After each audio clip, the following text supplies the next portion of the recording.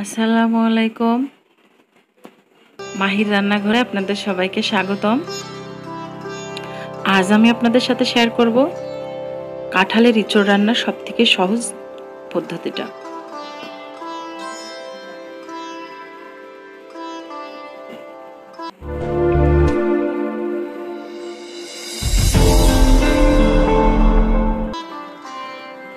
কাঁঠালের ইঁচড় তৈরি করার জন্য আমি এখানে একটা কাঁঠালের অর্ধেকটা নিয়েছি। আর নিয়েছি রসুন বাটা, পেঁয়াজ বাটা, জিরা বাটা, গরম মশলা বাটা, কাঁচা পাকা মরিচ বাটা, হলুদ গুঁড়া, লবণ রান্নার জন্য সয়াবিন তেল। এখানে আমি কাঁঠালটা কেটে পরিষ্কার করে ধুয়ে রেখেছি। আমি বিচির সাদা অংশটাও ফেলে দিচ্ছি। কড়াইয়ে তেল দিয়ে দিয়েছি চার টেবিল চামচ পরিমাণ। তারপর দিয়ে দিচ্ছি পেঁয়াজ বাটা, রসুন বাটা,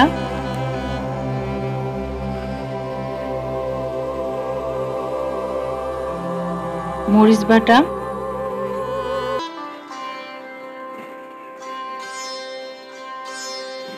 আর দিয়ে দিচ্ছি জিরা বাটা। মশলাটা খুব ভালোভাবে নেড়ে কষিয়ে নিতে হবে।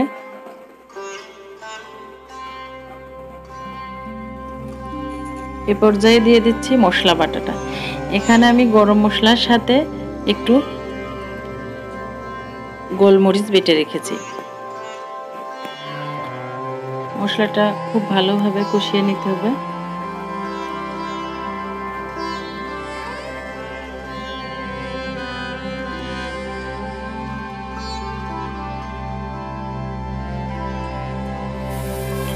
সামান্য একটু পানি অ্যাড করছি। তারপর দিয়ে দিব স্বাদ মতো লবণ। আর দিয়ে দিচ্ছি পরিমাণ মতো হলুদ। এবার আমি ধুয়ে রাখা এই চোট দিয়ে দিচ্ছি।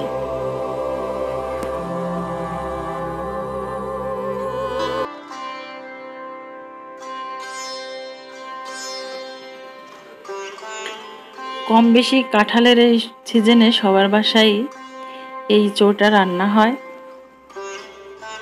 বিচির সাদা অংশটা ফেলে দিলে খেতে সুবিধা হয় এবং অনেক স্বাদের হয় বিচিটা আমি খুব ভালোভাবে নেড়ে ঢাকনা দিয়ে ঢেকে রেখেছি।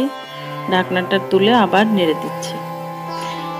এইবার আমি একটু পানি দিয়ে দিচ্ছি। এখানে আমি এক কাপ পরিমাণ পানি দিয়ে দিচ্ছি।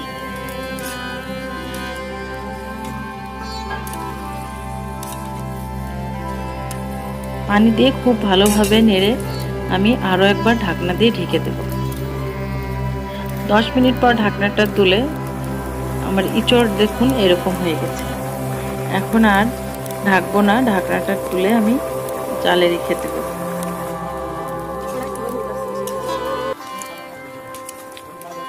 এভাবে মাঝে মাঝেই নেড়ে দেব যাতে নিচ থেকে লেগে না যায়।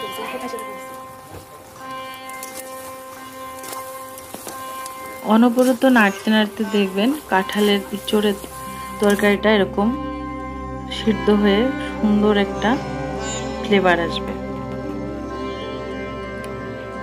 পানিটা একেবারে শুকিয়ে গেছে। এই ইঁচড় রান্নাটা এরকম কষানো হবে। আমি খুব ভালোভাবে এখন শুধু নেড়ে দেব। নাড়তে নাড়তে এরকম একটা কালার হয়ে যাবে। দেখুন। এবার আমি একটু ভাজা মশলা ছড়িয়ে দেব। দিয়ে দশ মিনিট ঢেকে রাখব, চুলা থেকে নামিয়ে। তারপর গরম গরম পরিবেশন করব। খেতে অনেক মজার।